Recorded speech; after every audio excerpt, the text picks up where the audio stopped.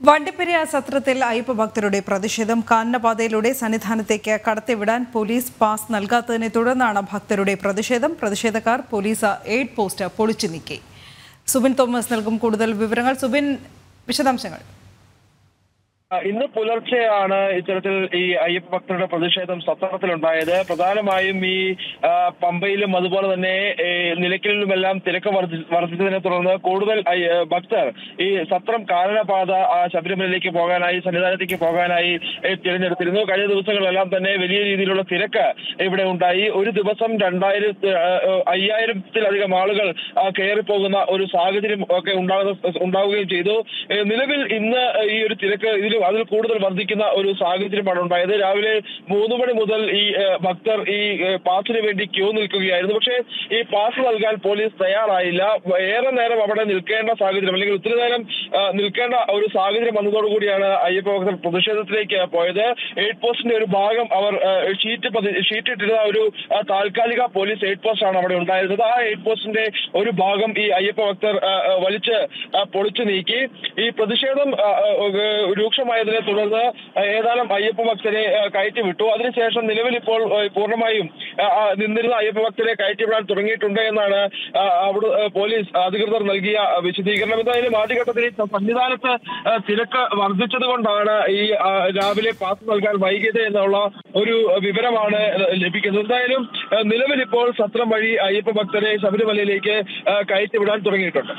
പക്ഷേ സുബിൻ അങ്ങനെ പറയുമ്പോഴും ഈ പാസ് നൽകാതെ അയ്യപ്പ ഭക്തരെ കടത്തി വിടുമ്പോൾ വീണ്ടും തിരക്ക് വർദ്ധിക്കാനാണ് സാധ്യത. ഇന്ന് സന്നിധാനത്ത് ഇപ്പോൾ തിരക്ക് നിയന്ത്രണ വിധേയമാണെങ്കിലും ഭക്തരുടെ എണ്ണത്തിൽ വർധനവുണ്ട്. ഈ പ്രതിഷേധം ഉണ്ടാകുമെന്ന് ഇവർ മുൻകൂട്ടി കാണേണ്ടതായിരുന്നു. അല്ലെങ്കിൽ ഇപ്രകാരം പാസ് കൃത്യമായി നൽകണം. ഈ നിയന്ത്രിതമായ ആൾക്കാരെ മാത്രമേ കടത്തിവിടാൻ പാടുള്ളൂ എന്നതൊക്കെ നേരത്തെ കാണേണ്ടതായിരുന്നില്ലേ? കാരണം ഒരാഴ്ചയോളം തുടർന്ന് നിന്നിരുന്ന പ്രശ്നങ്ങൾ ശബരിമലയിൽ നമ്മളെല്ലാവരും കണ്ടതുമാണ്.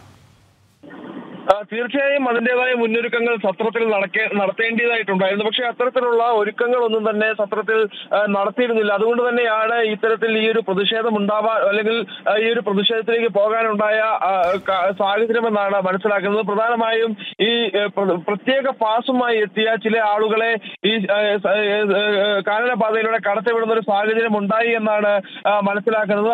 ആ, ഒരു സാഹചര്യവും കൂടി എടുത്തു കണക്കിലെടുത്തുകൊണ്ടാണ്. അല്ലെങ്കിൽ അത്തരത്തിൽ അയ്യപ്പ ഭക്തരെ കയറ്റിവിടാൻ പോലീസ് തയ്യാറായതും ഈ ഒരു പ്രശ്നത്തിന് കാരണമായി എന്നാണ് നമുക്ക് അവിടെ നിന്ന് ലഭിക്കുന്ന വിവരം. എന്തായാലും വേണ്ട മുന്നൊരുക്കങ്ങൾ നടത്തേണ്ടിയിരുന്നതാണ്. പക്ഷേ ഈ സത്രത്തിൽ അതിനു വേണ്ട മുന്നൊരുക്കങ്ങളൊന്നും തന്നെ പോലീസ് അധികൃതരോ ദേവസ്വം വകുപ്പിന്റെ ഭാഗത്തു നിന്നോ യാതൊരുവിധ ഒരുക്കങ്ങളും നടത്തിയിരുന്നില്ല എന്നുള്ളതാണ് ഒരുക്കിയിരുന്നില്ല എന്നുള്ളതാണ് വാസ്തവം.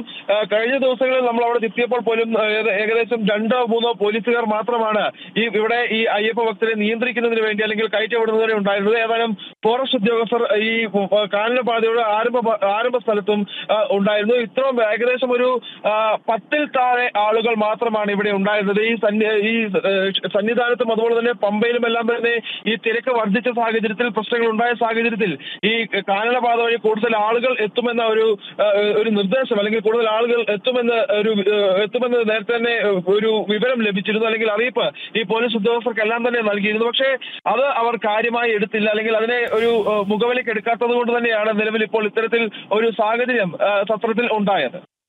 ശരി സുബിൻ.